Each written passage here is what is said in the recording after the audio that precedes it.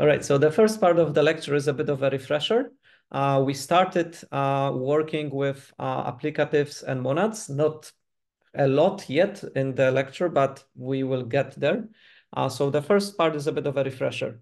Um, the second part is about debugging Haskell. So how we go about understanding and debugging if something doesn't work uh, in Haskell. And then the third part is about reverse Polish notation, which will be useful for some of the future labs. So we will see how it goes with time and whether I will manage to do all three things today. So let's start with a first quiz. Some of the questions are open-ended and some of the questions are um, quiz-like, timed.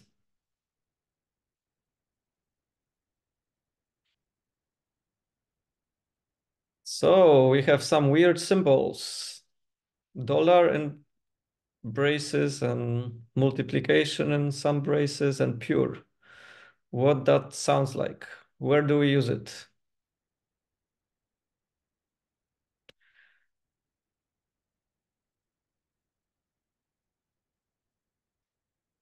Great. So half half. Um, those are typical for applicative functors. So this is the apply, pure, and fmap. Uh, all three are used and defined in the applicative uh, functor class.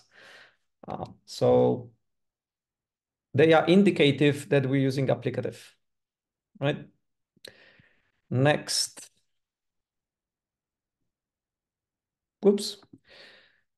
Enter.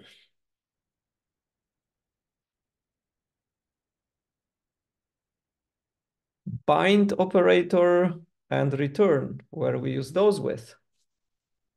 So now we should have 100% correct because those people who answered previously correct will answer here correct and those people who thought it's related to monads will know that it is monads now.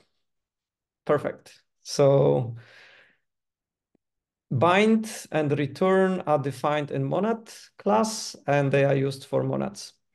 Um, applicative functors was the previous slide. So we have the apply and pure uh, and fmap. Here we have bind and return or fish operator. The fish operator is the one which has the this one in the middle. And we have also reverse bind where we swap the arguments. So all of those are about monads. Okay, semigroup. Uh, what is the semigroup with? Um, let me open. I should have. Yep. So let's let me pass it. No, come on. Yep. I can place it here. So if I go to GHCI and uh, we have some, it, it's a little bit tricky sometimes because, for example, a list. So I have a list L and it's one, two, three. And I have a list M, which is 10 and 11. Um, lists are, can be used as applicatives. They can be used as um, semi-group, and they also can be used as a monad.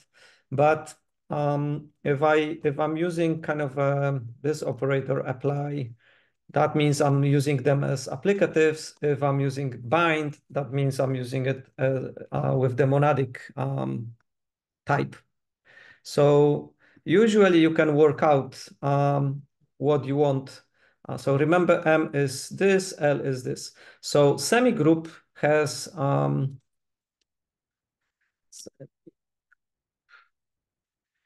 semigroup has this operator. So this operator takes one semigroup, another semigroup, and produces an, an instance of the same type. So you have to be in the same type, right? Um, and this operator for lists, so remember again, L is this, L is this, M is this. So if I say L, combine it with M, it sort of works like a concatenation. So this operator, you can think of it as kind of a concatenation. That, that is the implementation of this operator for lists. In different contexts, it can be a different thing, but usually what you want is to have um, an operation which combines two elements and produces the same the same thing, right? Remember, like uh, for example, plus plus in the integer uh, domain is a is an operation which makes this a semigroup, right? The same with the multiplication. So integer is to integer together with one of those operations will be a semi semigroup, right? And then a monoid would have an identity element. So some semigroups don't have an identity element and they are still a semigroup, um, but some do have. So for semi-groups, remember this. And that actually comes handy for one of the labs because uh, your goal is to combine all the errors and then you will have some sort of a error state or error kind of a um, representation from one operation and from the other. And maybe this is exactly what you want, right? So uh, for semigroups and monoids, you just have this uh, combination, combinator uh, operation. Um, okay, so monads, bind and return, applicatives, fmap, apply, and pure. All right, so let's do some code reading and code reviews to harden our kind of uh, understanding of those.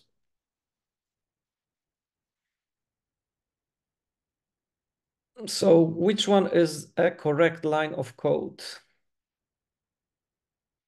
Oh, crap. That's complicated. We're using maybe type with a function and a bind operator. So, okay, we are in the monadic context. So what is correct and what is not correct? What can we do? How we use bind?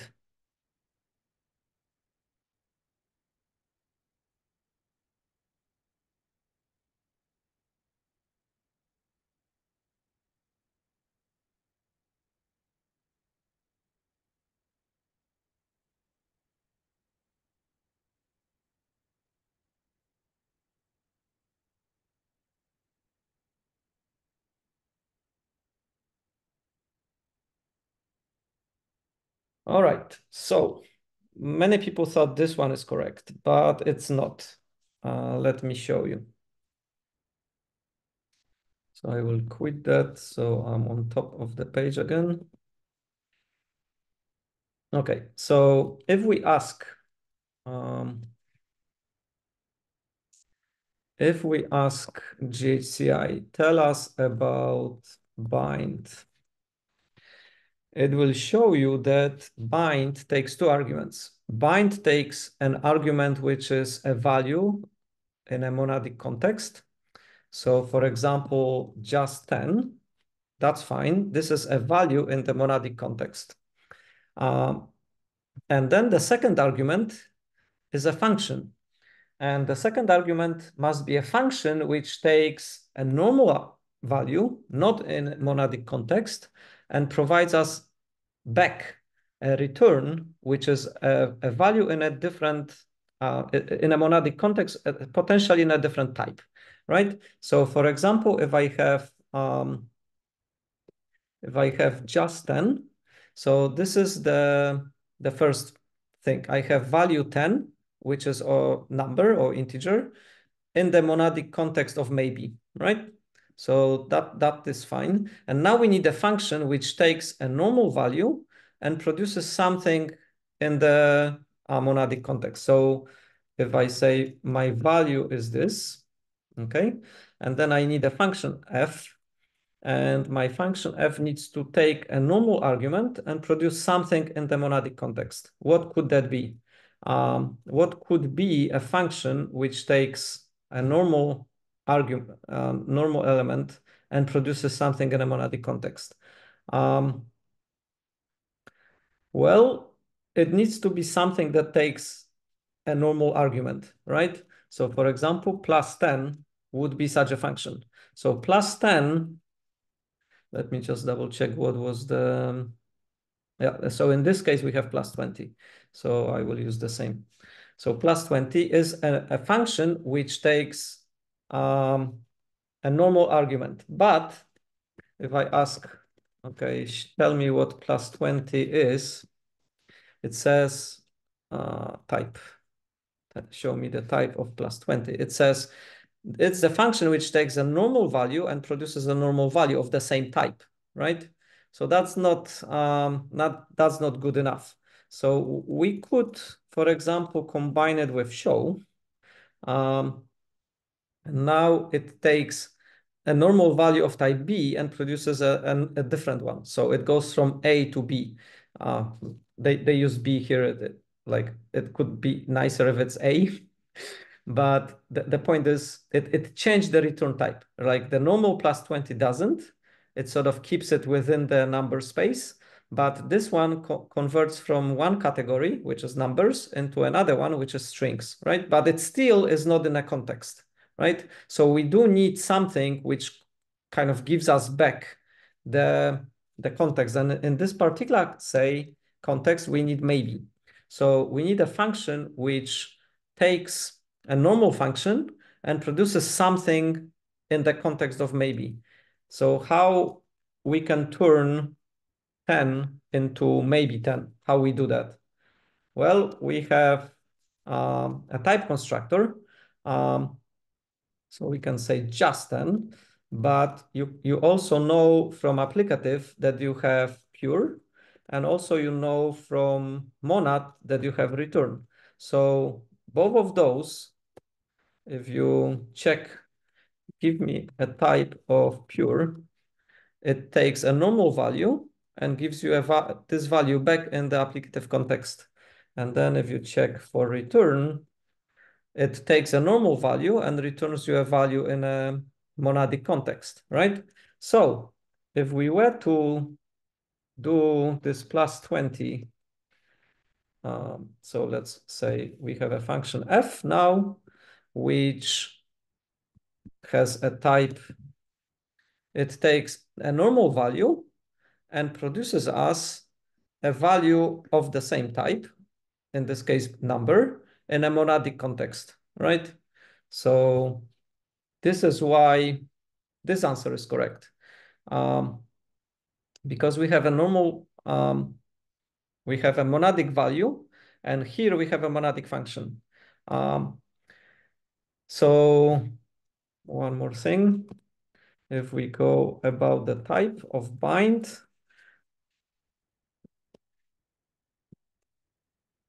bind takes monadic value and monadic function, and then gives us back a monadic value, right? So value in monadic context, a normal function, uh, a function which takes normal value and produces monadic value, and the monadic value is the output of this. So two arguments. First, monadic value, then monadic function. So monadic function is first, uh, second. Here it's first, so it's wrong. So this is why this, this is incorrect. So monadic value, monadic function.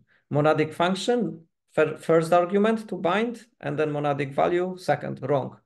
Okay, here we use return and here we use pure. Um, this is somewhat unorthodox because we're combining monadic value, which is just 10, and then we are using to combine it with the monadic function, but we are com composing this monadic function with pure, which is an applicative, right?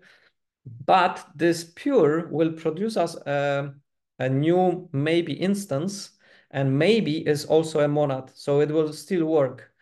But it's a little bit kind of uh, impure, like it's a little bit, um, um, if, if you're using maybe as a monad, you probably should communicate it directly by using return.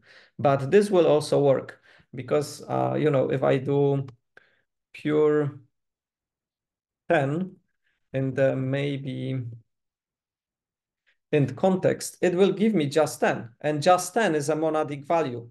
it is an applicative value, but it's also a monadic value, and it will work with um, it will work as the output of this processing, right? Um, so pure, you know, if we double check it with return, they basically give the same answer, right? So both of them are correct. Both of them will compile and both of them will work, but this one should be the preferred one in the context of using bind. And then again, uh, the function needs to be the second argument, not the first. So that's why this one is wrong. Okay, so we kind of decipher it. Does it make it clearer now? Thumbs up, thumbs down. Questions? I hope it, it clarifies the situation. All right, so let's try more.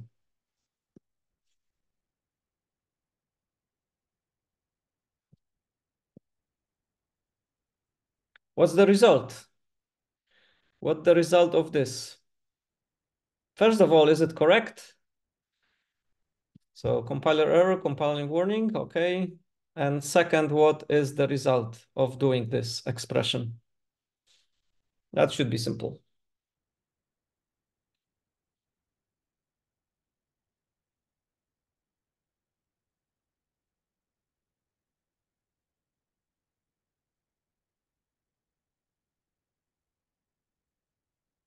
Perfect. Most people got it right. Um, there is no error. Uh, monadic value, monadic function, uh, return will turn the, the result into maybe number. Uh, we're combining 10 with plus 20, so it will be 30. We'll have just 30, so no magic here. Perfect. All right. Another one.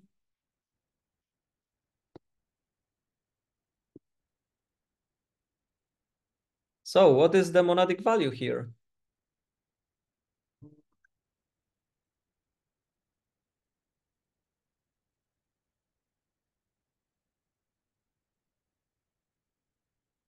So the term monadic value means there is a value in the monadic context.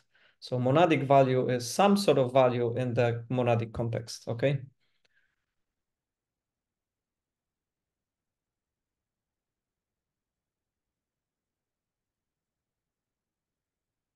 So just 10 is, because it's a normal value 10 in the monadic context of maybe, so just 10. But also the return of this is just 30, and that is also a monadic value, right? So remember here, um, we have this bind, bind operator. It takes monadic value as a first argument and gives us back a monadic value, right? All right. Another one.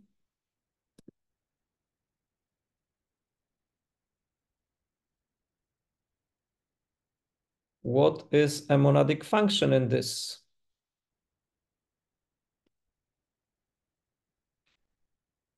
All right, so this one is easy. We we just talk about it, so it should be straightforward, but there is a catch.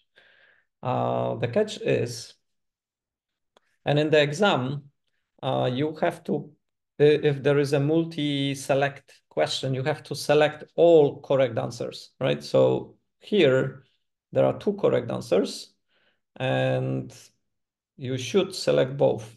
I don't know if in, in a Menti you can select two, but in the exam you will. So very good. Um, what is the signature of monadic function?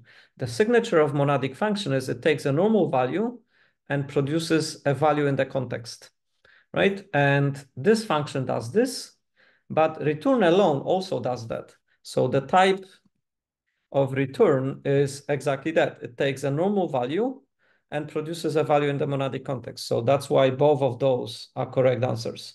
Um, both of those are monadic functions. There's, imagine that we have this dot gone. We just say return plus 20. Would that work? Would that, like if, if we take this dot out and we say bind this monadic value with a function which is return plus 20, right? So um, if I do this, Uh, yeah, I will quit such that we have clear context. So if I do just 10, so this one is a monadic value and maybe monad, and I'm binding it with a function which is return plus 20. Would that work?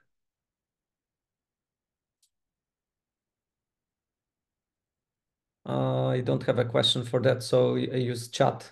If you think it would work, or if you think it wouldn't work. So this works for sure, because that's just 30. But how about this? There is a dot missing.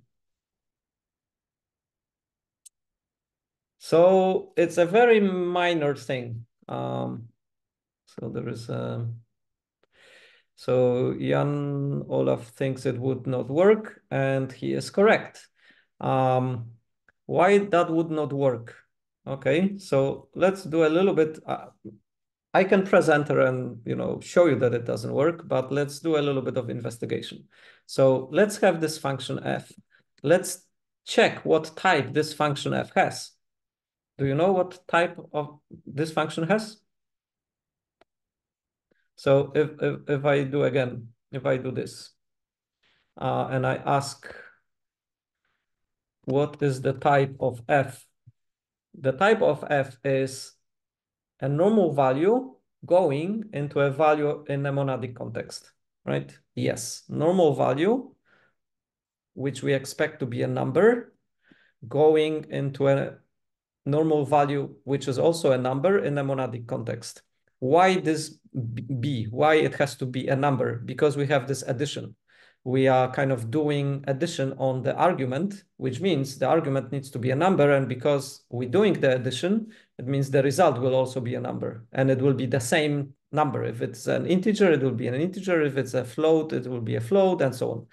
Um, so now, if I don't, if I take this dot out, what is the type of f? Well, the type of f is not um, b to monadic b anymore. It's monadic value of a function. So I have a function from number to number inside a monadic context, right? So in our case, I have just plus 20, right? That's what I that's what I got by doing this. So I didn't got a function, right? You see, there is no argument. Like th this thing doesn't take an argument. This thing is a value. And this value has a function inside its context, right? So the function is inside, but this doesn't take any arguments. I, I cannot combine it. Like I cannot say, uh, do it with 10, right? Uh, I cannot use space, which means apply this function to, to this argument. I cannot do that because this is not accepting any arguments. It's not a mapping from something to something. It, it, it is just a value, right? So if I do that, I, I have an error. If I do this, I don't have an error. This works fine. But this doesn't work fine, right? Um, oh, all this this doesn't work, which means this will not work. If I take this for the same reason, it will not work because now I have a monadic value. Oops, I have a monadic value here on the left-hand side, and I have another monadic value on the right-hand side. There is no, no function to bind. There is nothing to, to, to wire it together, so it doesn't work. So this little thing is could cause some some issues uh, in your coding. All right, so we are doing quite well. Very nice. Ronald is reading, leading the. So let's see how we're doing with time. Okay, we're doing fine. So when do we use function pure in your own words shortly? What you would say? When would you use the function pure? Oh, come on.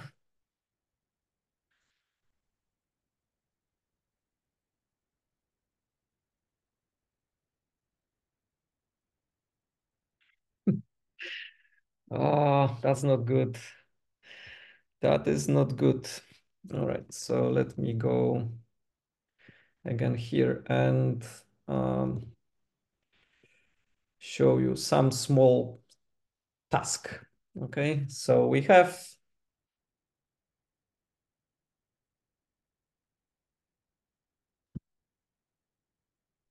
You would use it with applicative functions. Yes, exactly. So let's see. Uh, let's say you got, uh, you are asking for an input from a user and you're asking for the input from the user and the user can give you a number or it cannot give you a number. And then you may have a number or not. So we will be using maybe int.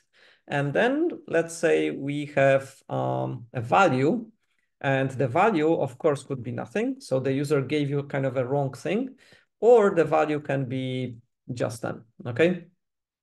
So if you have just 10, um, or let's say it's a, it's some sort of a payment, right? So it's, um, I don't know, 1325. Um, we will use integers for payments. And then you need to calculate. You have to do some calculations. So you need to calculate 50% of that, right? So you have to multiply it by 0.5, okay? So now you have this maybe number and you need to multiply it by half. Uh, how can you do this? How can you combine this function with this number? You cannot just try to multiply it directly because the number is in the context, right? So because the number is in the context, you cannot um, combine it directly, right? So you could say, I have to map it, right? So, oh, uh, F map it. Um, so you could do this and then you get the number. The same is if you if you use this operator, which is an F map in the infix notation. So this one is in the kind of um, postfix notation where the arguments come after, and this one is kind of infix. So it is in between. It has the left-hand side and right-hand side, but it is fmap. It is exactly what fmap is, right? So then you have this, but you can also want to use apply operator. And apply operator, um, so this one will not work. Let's ask for the apply. What is an apply operator? And apply operator takes a function from A to B and a value A and produces B, but the function needs to be in the context, in the applicative context. So the, the function, our function multiply is from A to B, uh, actually is from A to A. Uh, but we cannot use it directly. We have to have this function inside the context, right? So look what happens if we use pure. It will work, right? So we, using pure, every time we want to convert a normal function into a function in the context or a normal value into a value in the context. So if I say pure 10, and I'm doing this in the context of maybe ints, I'm gonna get just 10, right? Um, so instead of using the um, the type, uh, the value constructor, I'm using the function which takes a normal value and produces me the um, maybe int result, right? So usually you will see it in this context because you want to chain um, a, a application uh, of applicatives together and the first function is your normal function which takes multiple arguments and then you will kind of need to turn it into into pure right? Um, so uh, kind of a, a, a very uh, typical use case is you have a student and the student takes a name and surname and age um, so this is your kind of a record constructor so to construct the student S, So you would say S equals student, and then you will have name, oops, surname, you will pass those parameters, right? And age, and age is a number, right? But if you're getting those things from JSON or you're getting those things from somewhere where you need to do validation, then instead of doing this this this way, um, what you do is you would say S equals, and then you would say pure student, and then you will combine it with the uh, applicatives. So you'd have the name, you would have the surname, and then you would have the age, right? And then this is where you use the pure, sorry, to turn the function which takes three arguments, normal arguments, into a function in the context of this applicative. Um, of course, some people don't do pure. Some people say fmap student do this. And then after this, you will after this you will have the value the the function partial partially applied function in the context and then it will go to surname and age. So those two are exactly the same. So either you use pure with this for consistency or you would do this. Right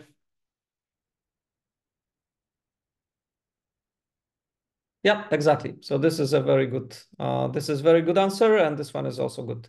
So we're using it to provide a mechanism for putting something in the box. So pure is it puts something in a applicative box. Return is exactly the same, but with the monad. So we have value or we have a function and we are putting it into the um, monadic box, right? Would it work if I use return um, for this? It would, but again, it, it's like uh, we want student to be in the applicative box, but we're putting it into the monadic box, and it just happens that th those two boxes are the same because maybe is an applicative box and monadic box, right? Um, almost all monads are applicatives, but not all. Sometimes uh, we have a monad which is not an applicative, and then you cannot use it with the applicative apply. You have to use it with bind.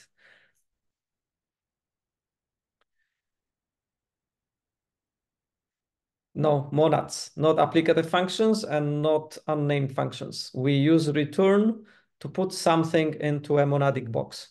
It, it is exactly the same as pure, but for the boxes which are monads. Um, it has nothing to do with unnamed functions and it has nothing to do with applicatives. All right, oh, two more to go. And then we'll have a break.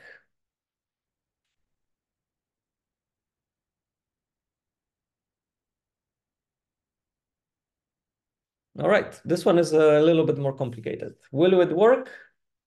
Will it not work? And what is the outcome of this?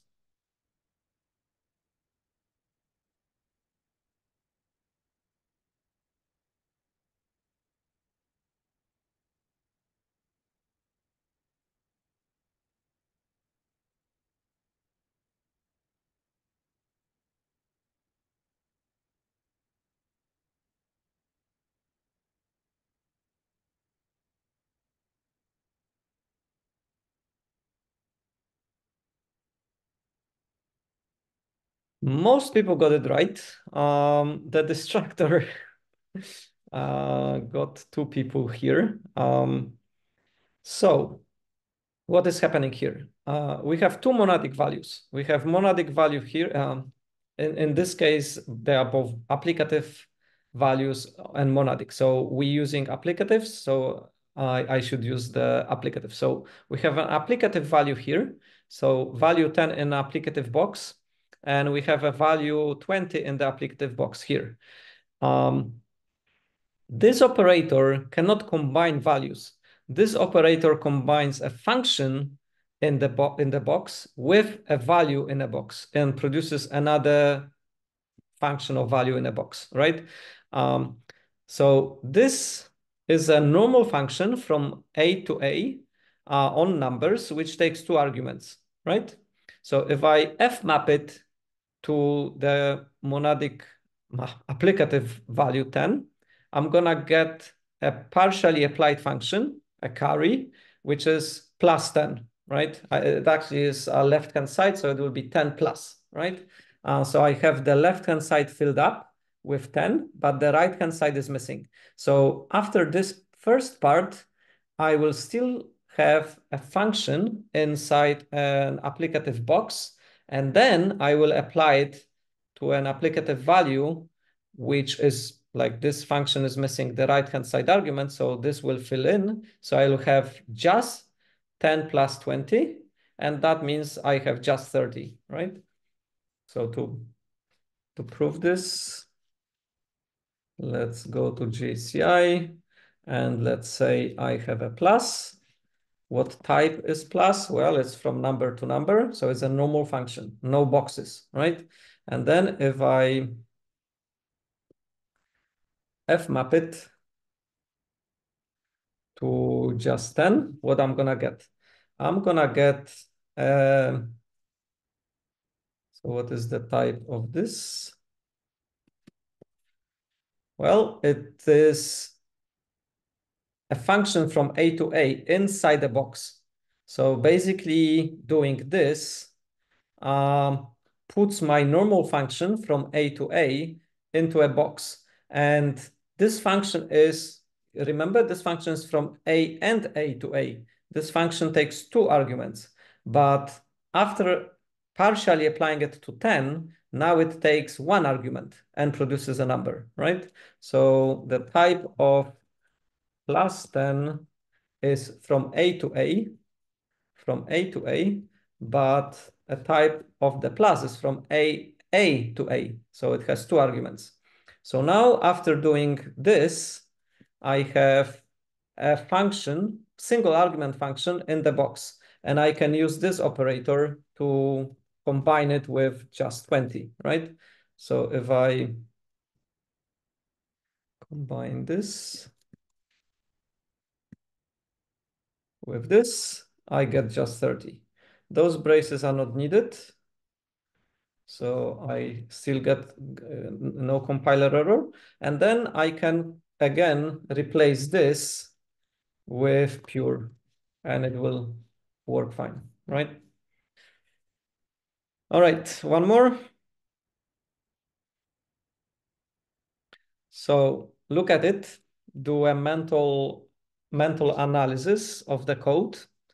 So we have a record type student, which takes a name and age. A name is a string and age is an int. And then we are constructing the, the student by passing the parameters to the record.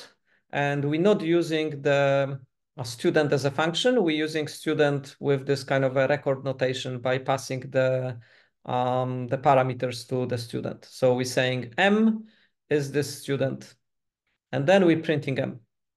So, okay, stare at it for five more seconds. And think if this code is correct or not. All right, so then answer. Is this code correct or not?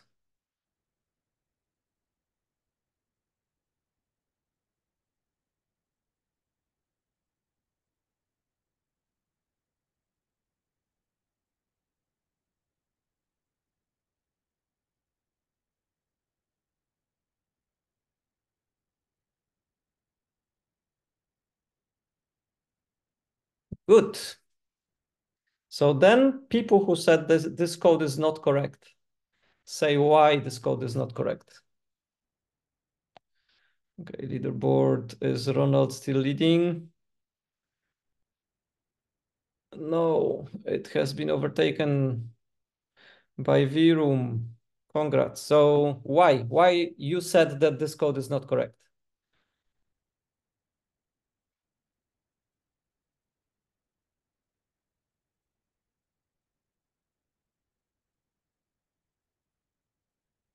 why it would get an error.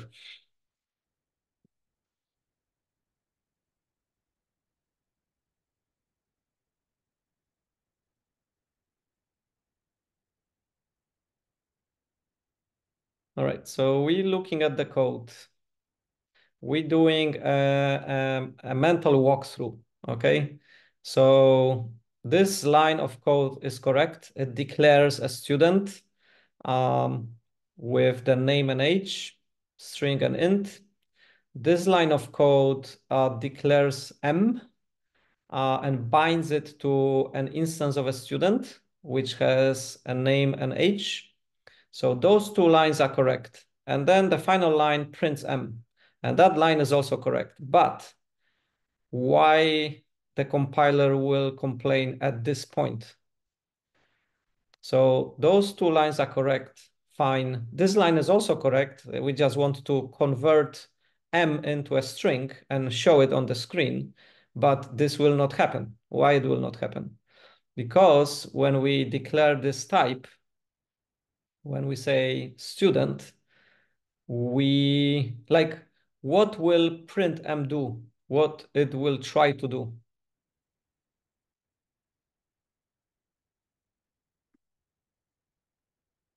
Exactly. So um, Timo is correct. he, he basically points out that uh, this line would like to convert this to string and print it, but we didn't derive a show. So we didn't derive show for our type. So the, the show type class is not defined and the method show will not work for our student.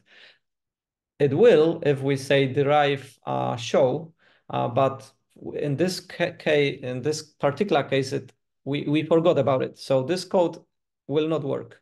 Uh, so this one is a correct answer. Um,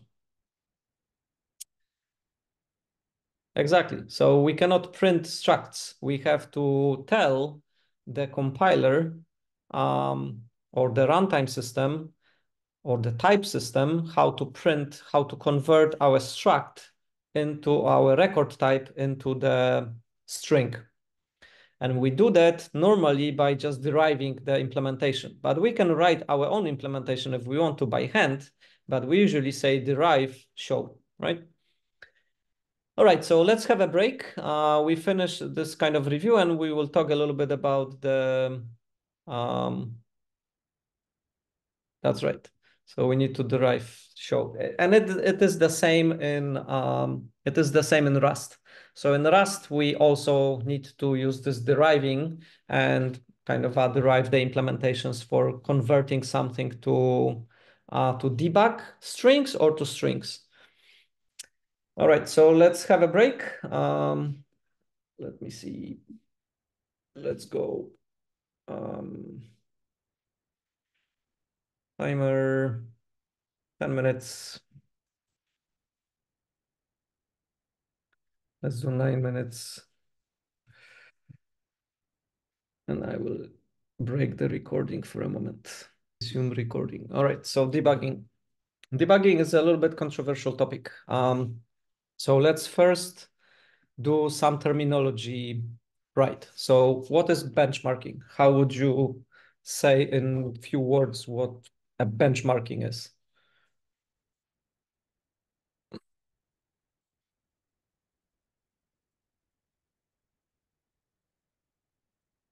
Benchmark.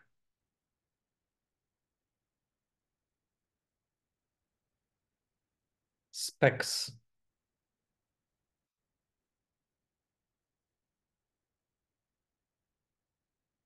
Yes, but not necessarily limits.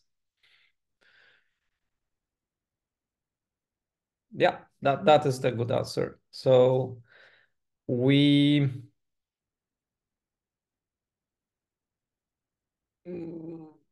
we usually have some form of a test and then we applying that test to multiple things or the same thing with changing some variables and we are measuring the same kind of um, it could be memory consumption it could be a speed it could be the time um, and and we we have some sort of a test we have some sort of a um, metric which we comparing things with so for example i can I don't know, generate a million numbers and uh, multiply them together on my laptop. And then I give you the code and say, do that on your laptop.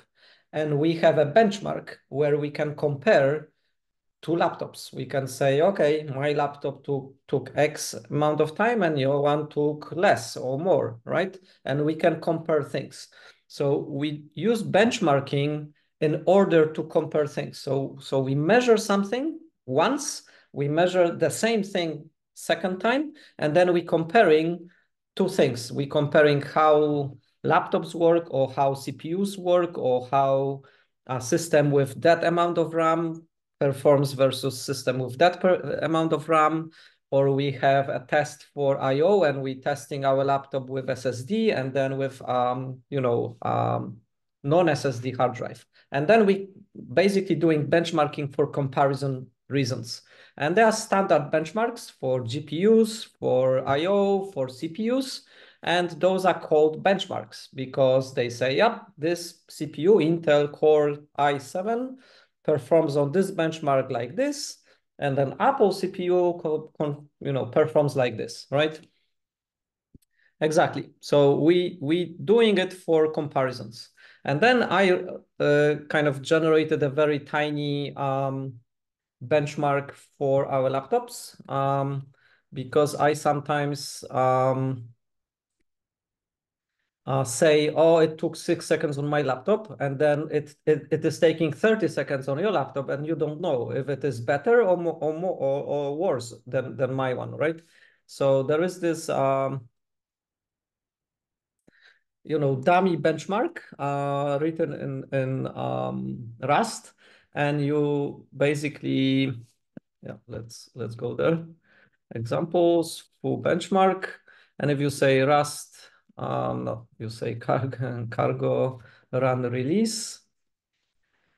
Uh, it gives you a metric. Um, so on my laptop, if you do this, um, it uh, takes, yeah, if, if I run it again, takes about seven seconds, but most of the time it takes six 0.3. Uh, currently, it's it's taking longer because I'm recording and using Zoom. If I was not recording and not occupying CPU and not do, doing the lecture, it would probably take about 6.3. Uh, so I can run it again. So my uh, multiplier is about one, right? So um, if your laptop is less than one, it means it's my, faster than my laptop. And if, if it is more, then it means it's slower. So if I say um, my laptop took six seconds to do this and your laptop took 30, but your multiplier is like 10, that means your implementation is much faster than mine, even though it is taking longer time, right? So this is a benchmark. The benchmark is for comparing things. Um, all right. What is profiling? And why we do profiling for.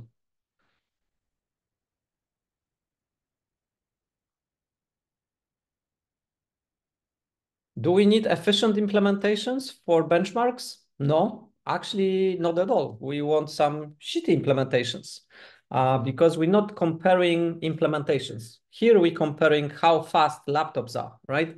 So if the implementation is really shitty, that's fine. Um, in terms of using resources or, or whatever, right? But what is profiling?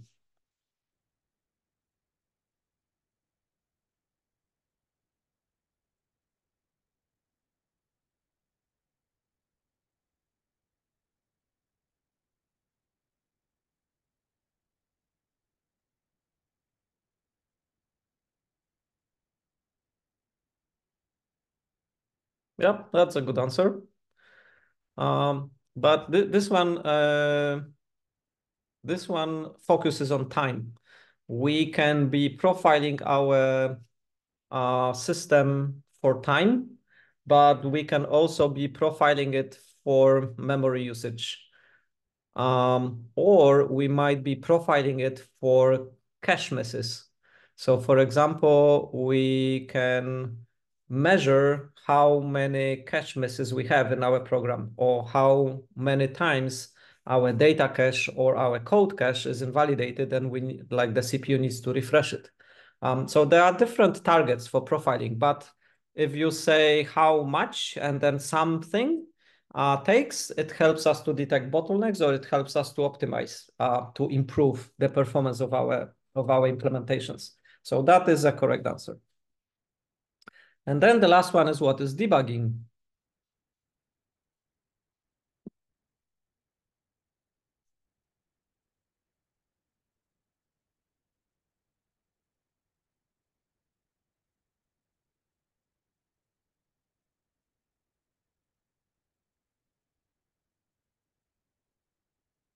Finding bugs, exactly. Exactly. So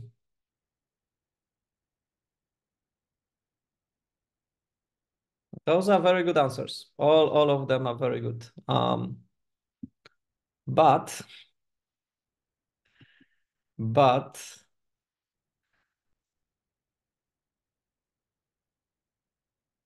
why do you do debugging?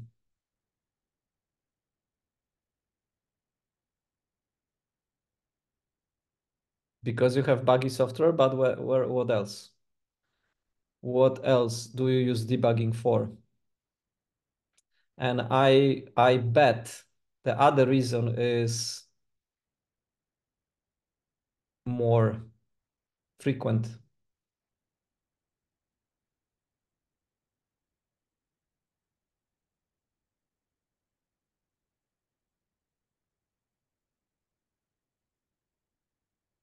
Okay.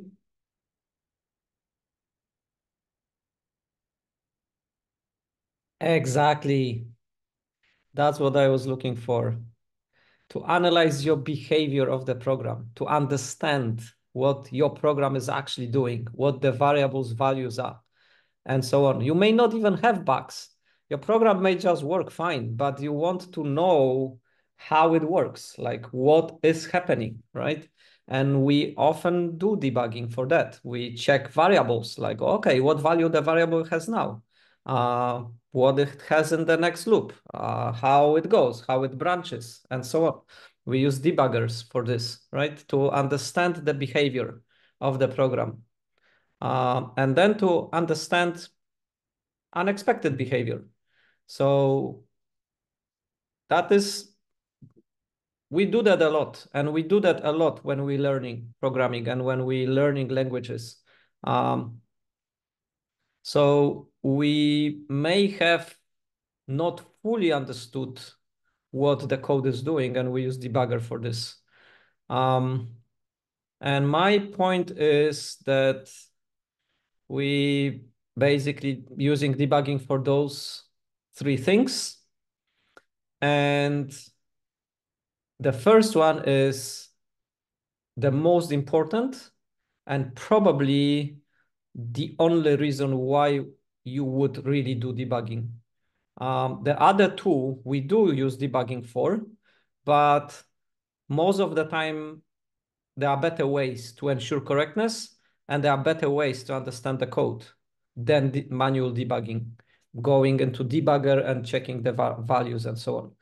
I know I am uh, not necessarily um, like not all of you will agree with me. Uh, some of you really like um, doing debugging for those two reasons, but objectively speaking, this is very inefficient. You're kind of wasting time. Um, so you should not do debugging for those two reasons. You should do debugging for the first reason, of course, but maybe sometimes for the second, but definitely not for the last point. Um, if you're doing debugging for the last point, you're sort of are wasting your time. Um, all right, so what we should do for understanding the code instead? Um, well, you should just check the code with your eyes, like, you know, look at the source code, understand what it is doing right, right there, right? Um, so for those very simple, you know, use cases um, that we had before, So let me go back to some code snippet. Okay, like this one, okay? I mean, if, if, if you don't see that this one doesn't derive the, like, of course, the compiler will tell you what the error is, and you should immediately know, oh yeah, I, I, I didn't derive a show for my type, right? Um, you don't use debugging for things like this. You don't like, you, you know what the code is doing. You see it, right? And it's just the level of how much you can see um, in the code. The more, um, the more you read code, the more things become like in your face, like obvious. You don't really need to think about it. Like you see it straight away, right? So the, the whole point is to become so uh, trained such that most of the things uh, you can actually see directly um, uh, with your eyes, right? Just, just like uh, staring at the code. Um, if you start working and you start working in a team, sometimes you will have a function and sometimes the function will have a little bit un like you will not quite know why it doesn't work the way you intended to work.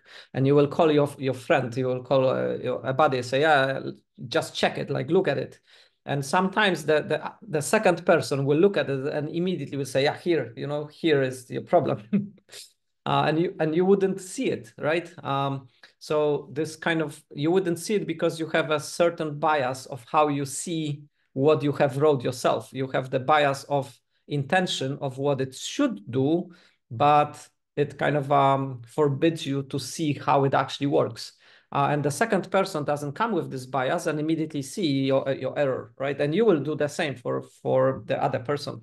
Um, because you will kind of uh, just analyze like, okay, this line is doing this, this line, and boom, you know it, right? Um, if you're not sure, you can use GHCI, like uh, I'm, I'm talking here in the context of Haskell. Uh, and of course, you should have doc tests and unit tests. So ensuring that the functions do what they are intended to do is best by doing unit tests and by doing doc tests because then you sort of uh, know that at the unit level or at the function level with doc tests, you have fulfilled some you know requirements. And this is automated. So those two points are automated so then you don't need to do them manually. That point is very fast because you're just doing it with your with your eyes with your with your head and then this one is kind of like a learning step just to make sure that your interpretation or your understanding is good. And this is much faster than Googling because you can check the type, you can check how things are composing, and you can use GHCI in your in your own context, in your with your own functions. So you can kind of interrogate them and, and kind of check them. So this one is a manual step, but it's um, quite efficient. Um, this one is very efficient and those two are, you know, full automation. So you don't wasting time uh, repeating any of that, right? Uh, if you change your code, your tests will have to pass. So you have the kind of uh, added benefits. So how you en en ensure correctness? The same steps, right? So you do mental work, walk walkthroughs, uh, you use doc tests and unit tests, and you may need to use GHCI sometimes when you're learning, especially because some of the things are not automated yet, right? Like I don't need to check how apply or bind work because I, have used it so many times that it's like automatic. But you may need to check. You may need to go to GHCI and kind of a double check that your intuitions and your understanding is correct, right? Um, but automate, use those things and train yourself with reading code and doing mental walkthrough, right? Especially with the age of ChatGPT, where you will need to walk mentally walk through the code it gives you, right? You're not gonna like load it to the debugger and kind of try debugger to understand how it works. You have to be kind of quick. Um, so mental walkthrough is a skill that you need to practice. Um, so if you can choose automation versus manual labor, always choose automation. Always choose doc test and unit test versus manually debugging stuff, right? Um, put assertions, uh, do unit tests, do doc tests, try to automate your own work. Um, if you're doing something manually, it's like, i I, am just gonna test it. Uh, and you run it, you pass some input data, you just test it. You're putting yourself to repeating that over and over again every time you're doing some changes. If you make it into a test, it will just run automatically in your CI pipeline and then you'll never worry about it. So promote automation. All right, so mental work walkthrough. What is this? Like, what is this give gives us? Do you need debugger to understand what it is doing?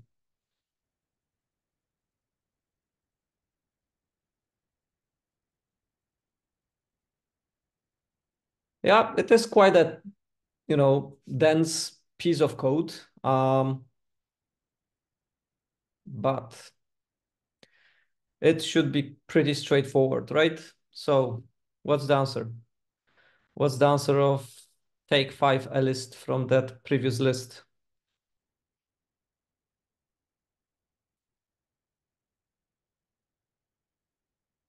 Yeah, what those five numbers are.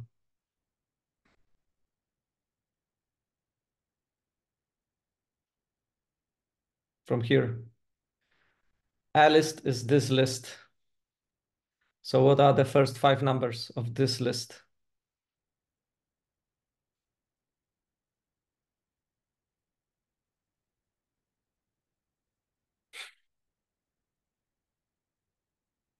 So what, what is this code doing?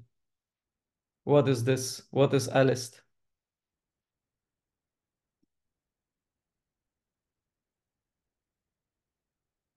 Well, a list starts with zero and one. We know that for sure, right? So the first two elements are clear, zero and one. They are just right here in your face. What is the next element?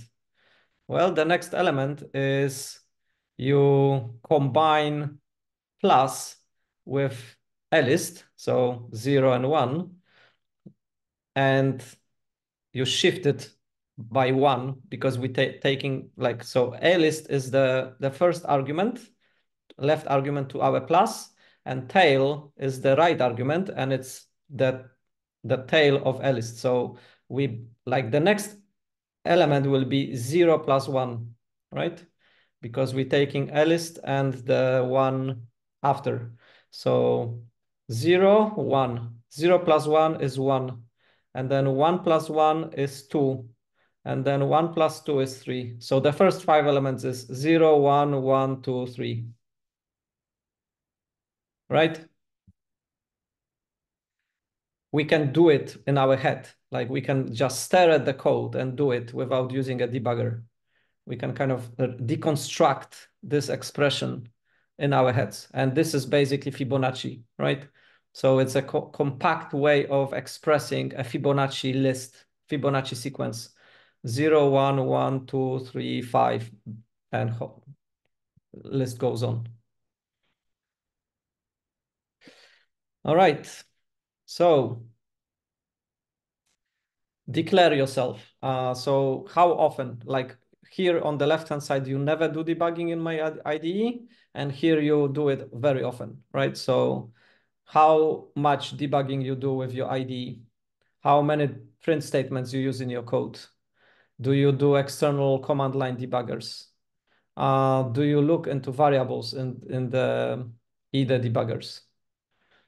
So if you do them, put yourself here. If you sometimes do them, put yourself in the middle. And if you never do this, put yourself to the left.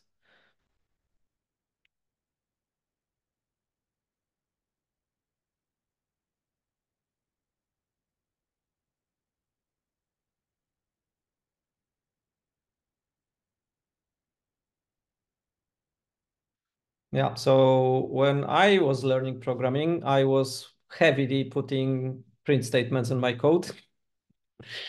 And I was, um, yeah, that the IDEs were not that great in my era. So I was sort of using command line debuggers, um, but not as often as print statements. So I was heavy here. Um, as I progressed, I didn't put stuff here I was doing mental work walkthroughs, but for some things I couldn't work out what is going on, so I had to use debugging. So I was probably kind of a command line and debuggers, but not many print statements anymore. And now I try to be on the left on all of those things. I try to be here. I almost never use debuggers or um, print statements. Um, but if you do have a bug in your code, you will have to use some form of debugging. Um, that happens. My recommendation is to avoid debugging altogether. Don't do any of this, especially don't do print statements. That's the worst. Um, it pollutes your code, that unnecessary code, and it, it is just um, a very um, useless activity. It takes you time. Uh, of course, it teaches you how your code works, but once you train yourself how the code works, don't do this anymore. Don't put print statements. Um, try to do debugging. Uh, sometimes it is useful, um, but in general, try to avoid it altogether. So avoid manual debugging. What to do instead? Um, we'll talk a, a, little bit about it. Um, about benchmarking. Do you time your functions? Do you do some form of benchmarking? Uh, do you use some benchmarking tools, like for example in Golang? Um, and profiling. Do you know what flame charts and graphs are? Have you ever used them? If you did, put yourself somewhere, and if you didn't, put yourself to the left.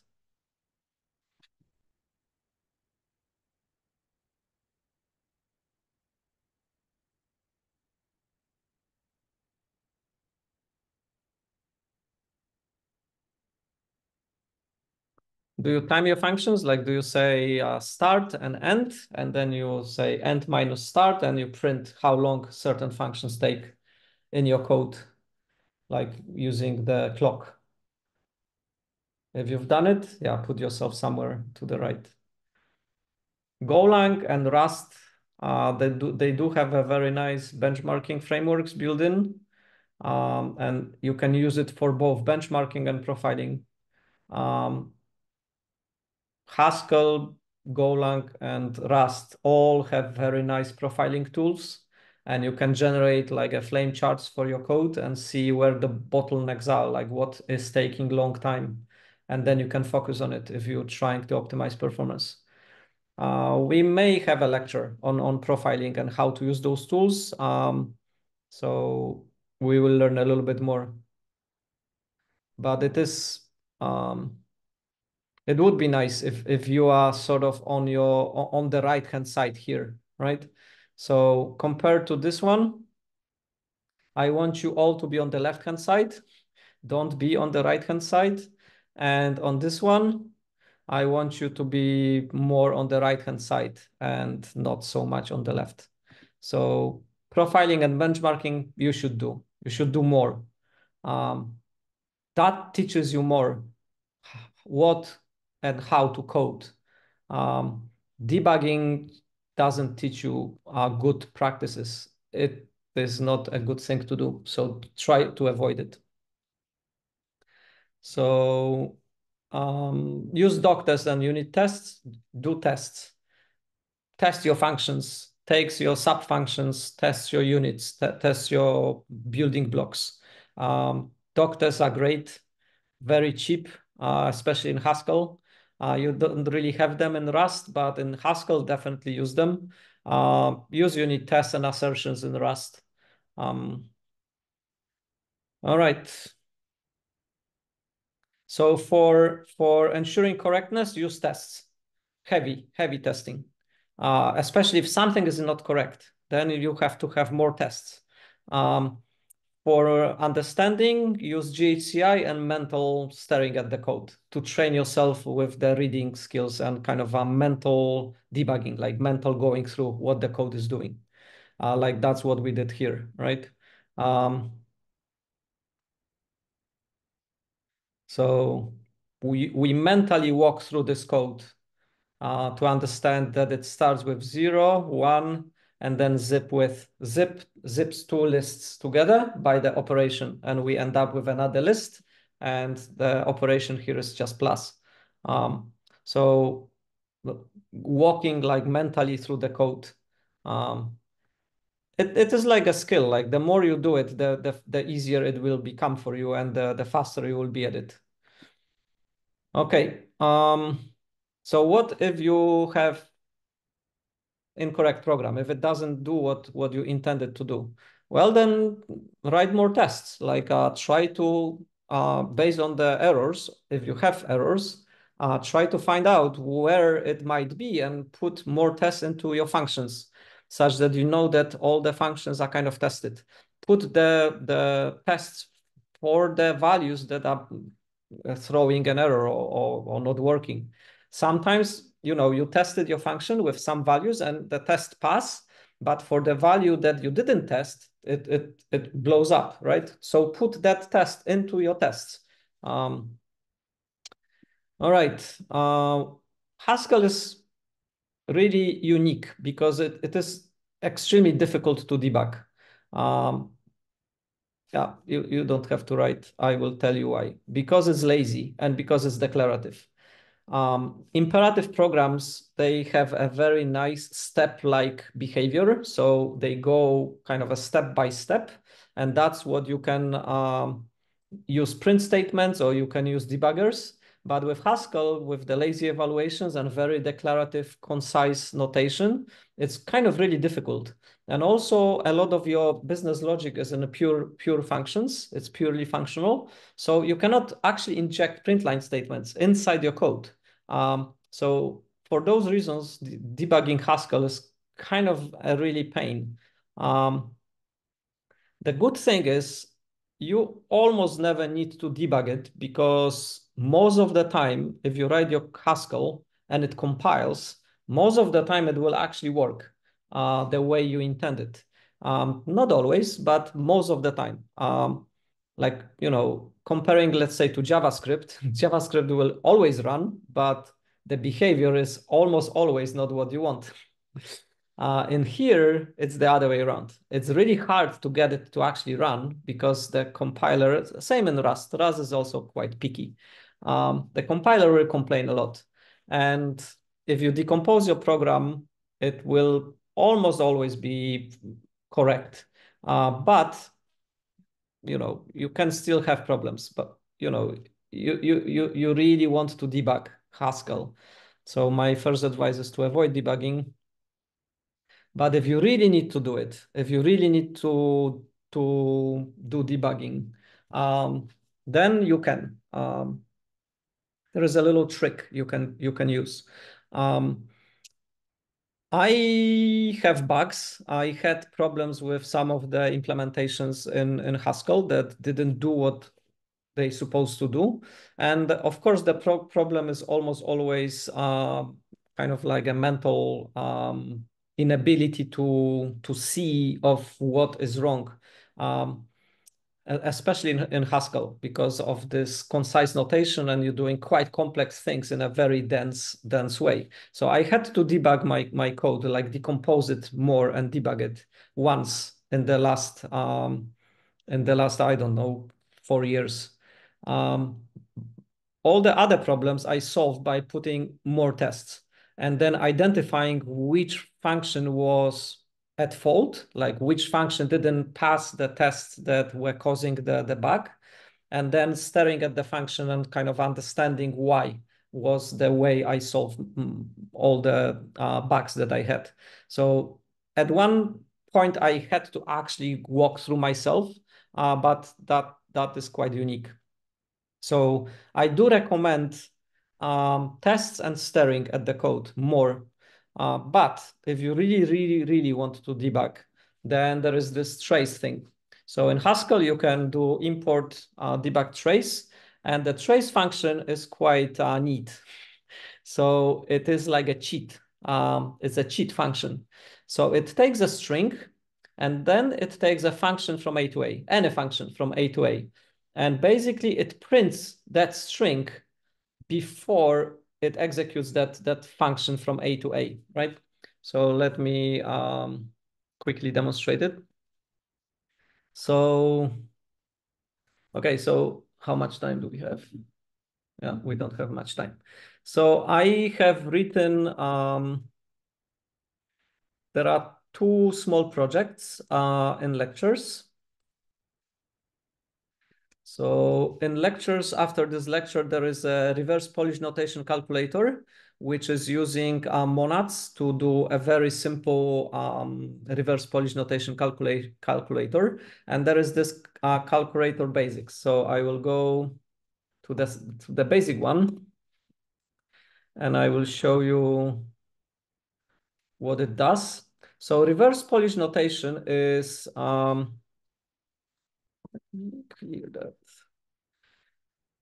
Uh, reverse Polish notation is a notation where instead of using infix or, or postfix notation, um, we use um, kind of the uh, operate operators for the operation come before. So we sort of like a prefix. So if I say plus 10, uh, 20, that would be postfix. So I have plus the operation, and then I have the arguments, right? If I do infix, I would say 10 plus 20. But if you do this, you have kind of like a reverse Polish notation where all the arguments to your operations come first and then come your operations. So for example, let's let's do let's do uh, one plus two, and then we multiply the result by by 10. And to do this, I would have to put those things in brackets because the precedence means that 2 times 10 would go first and then, but we want we want to get 30, right? Not 21, we want to get 30. So I would have to put those into brackets. But if I do this, if I put 2, 1, 2, and 10, and then do um, plus first, uh, and then do the multiplication. If you imagine that um, those values are sort of like on the stack. Um, so let, let's do uh, right-hand side to be the top of the stack, and then the left-hand side to be the, the bottom of the stack. I would have 10 on the bottom of the stack. I would have 2 as the second top argument and 1 as the top argument, and then I would do plus I would do plus and multiply. Then what will happen is plus will fetch the first two arguments from the stack, which is one and two, add them together and put the result back on the top of the stack. So then on the top of the stack, I would have three and 10. And then multiply will fetch again two arguments from the stack and give me 30 because it would multiply three by 10, right? So if I run it, I get 30. So that's what the, the basic Polish uh, reverse calculator does. And it has two operations built in, like I, I, currently only implemented two, plus and multiplication. And it basically does what we expect, right? So if I go, if I go there, I can show you the, um, it, it takes line by line and then maps process line onto the line, and then it sort of uh, unline the results and puts it into the into the loop such that I can uh, interactively pass lines into the code. And then this is the implementation. And the implementation takes, um, it, it runs process line and it takes string and returns string. So now if I were to debug it, um, I would go into main. I would say import debug trace trace. And remember, trace takes a string and then apply the function which is from something to something. So in our case, um, we would say trace uh, processing line and then it takes this um, so now map, normally map was um, was taking a single function process line and then we had um, injected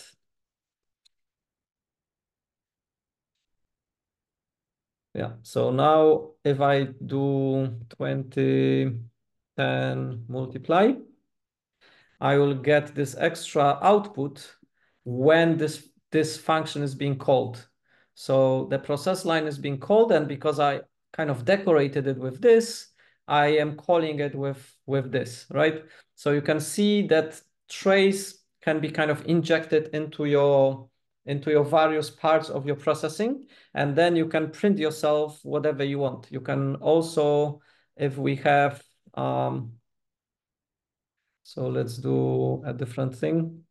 So let's say main equals, um, yeah, so let's do this. At two, and then we will read input.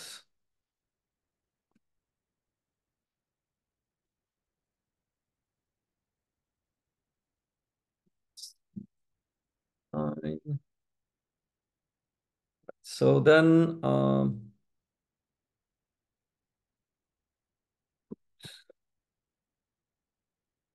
all right, and then I'm I'm just gonna do a very quick, yeah, at two.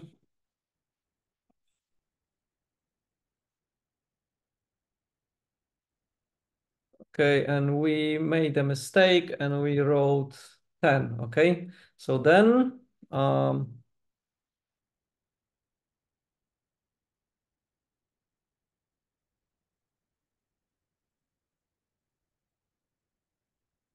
yes, so I need to do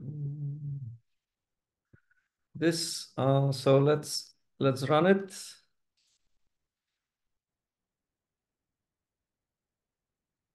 So I'm putting uh, 30 and we it should be 32. Oh. Come on, come on, come on. Yeah, get content. So I need to finish the I need to finish the mm, input. So then it gives me 40. So it's it's wrong, right? We have a bug. The outcome should be 32 and we have 40. So then what I can do is I can annotate at 2 um, and instead I can also annotate it here. So I can say state adding 2 input x and then I'm doing the the actual thing that I'm doing. So I will